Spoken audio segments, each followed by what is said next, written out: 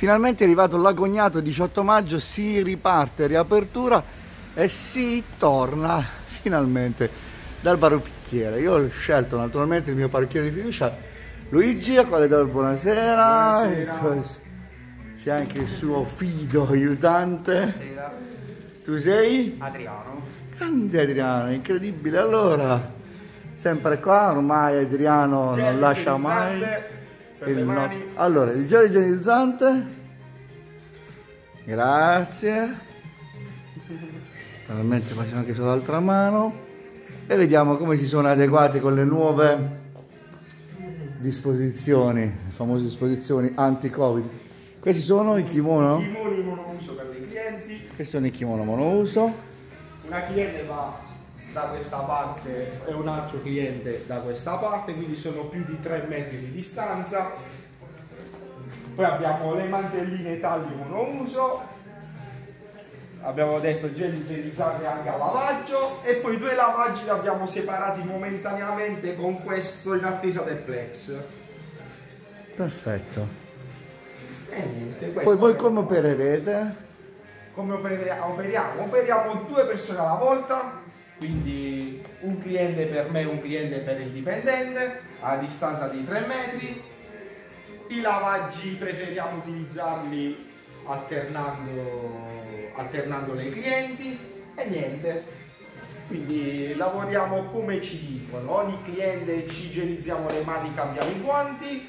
Ah, ecco, tu indossi cliente- anche guanti e visiera, giusto? Sì, la visiera Bene. solo quando eh, si effettuano dei lavori in cui il cliente deve togliere la mascherina.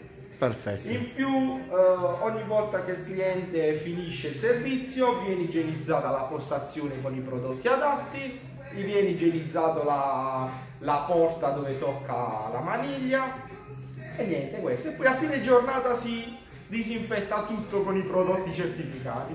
Quanto è stato difficile rimanere chiusi per tutto questo periodo? È stato difficile sia a livello psicologico sia a livello economico, però l'abbiamo dovuto fare. L'ultima domanda, cosa ti aspettavi dal governo e cosa in effetti poi il governo ha fatto per te, per, per la tua azienda? Quello che aveva promesso il governo erano secondo me tutte delle ottime delle ottime diciamo Proposte, aiuti.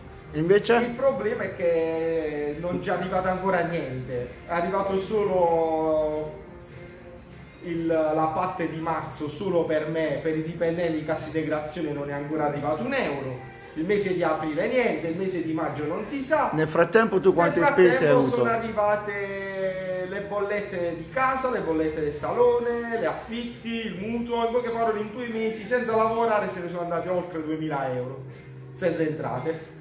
Neanche i 600 euro? Solo i 600 euro di marzo, che però per fare la spesa, per far mangiare mia moglie e mia figlia e mettere il piatto a tavola. E quindi adesso ricominciamo con la speranza che si va- riesce a finire l'anno e a vedere di, di ripartire al meglio l'anno prossimo. Allora, una buona ripartenza a te, a tutti i tuoi colleghi del tuo settore, più ampiamente a tutti i commercianti che oggi ripartono. Grazie. Grazie, ciao.